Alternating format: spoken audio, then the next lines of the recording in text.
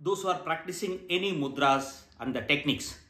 Without this, the mudras cannot be successful. You might have uh, studied uh, almost all the mudras and you know all about that.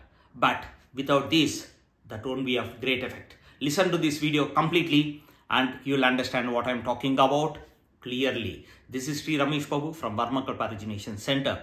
If you're not still subscribed to my channel, subscribe and click a bell button so that you get alerts of every new video comes up. Okay, let's get into the subject. See, the five elementary, you know that the earth element, you know, water, then jala, the fire, and the air and the space. This five is everywhere and we know that everything is made of these five in different combinations. Fine. So the human body is also made of five perfectly. And once we create this mudra, we are trying to connect to that energy of five with the different combinations, which will give an unique energy to you to sustain and survive.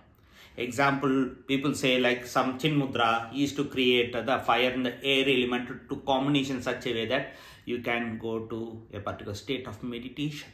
So uh, linga mudra, so many mudras are there. You see that all that is a combination of these five. Okay, so these five, if you are combining this energy between these two, one is here, another is in here, the bottom energy, mid here, top, mid, and the bottom. There are three types of energies and zeroing it. So these energies, to have real energy, you should have the energy first in your hands, correct? Without that, what will you do?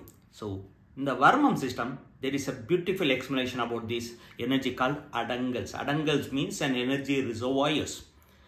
When you are very tired, very weak, when you do mudras, how will you get energy? To provocate the mudras of the complete energy. You know that earlier once even a temple need kumbhabhishekam to re-energize the whole temple. The same way this the temple to re-energize, you should have an option to do that. But Varmam is a beautiful solution.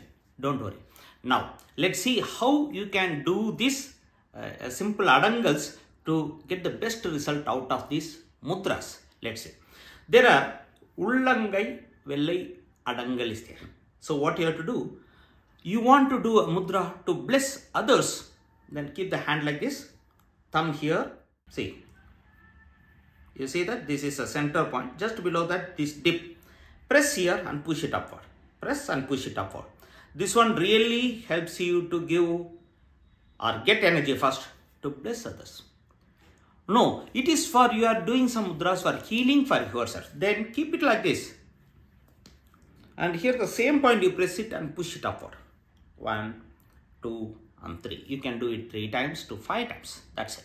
Not beyond that. And once a day and every day can do. Fine. At any given point of time from sunrise to sunset. Fine.